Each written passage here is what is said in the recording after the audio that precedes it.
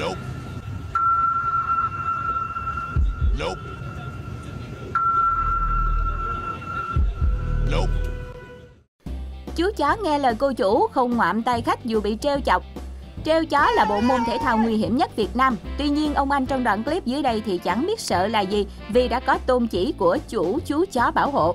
Chuyện là hôm nay anh đi mua cá viên chiên, gặp ngay anh chó, nhìn ngầu quá nên lại sờ xíu, nhưng mà chắc chú chó này bình thường cũng không được hiền lắm nên chủ quán ngay lập tức buông lời đe dọa tới chú chó. Không có cắn nha, Không có cắn nha Nghe được có kim bài miễn tử, anh chàng ngay lập tức giở trò treo gẹo chú chó này.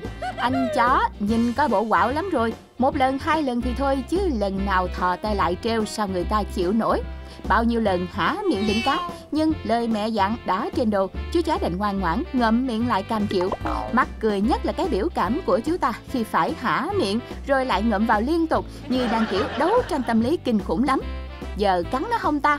Không cắn thì thấy ghét quá Mà cắn thì chắc mẹ chửi chết. Tối nay lại nhịn luôn cơm.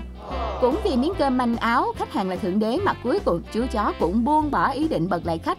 Mà cũng may cho ông anh này đấy Bà chủ ra đúng lúc Nếu không đợi thêm chút nữa Thì sức chịu đựng của con chó cũng có giới thiệu. Thì không biết bàn tay anh ra sao đâu. Còn boss nhà bạn thì sao? Có ngoan ngoãn nghe lời sen thế này không? Hãy chia sẻ nha Cảm ơn các bạn đã theo dõi kênh Yêu Lưu. Nhớ ấn đăng ký kênh để xem thêm các video hay tiếp theo nhé.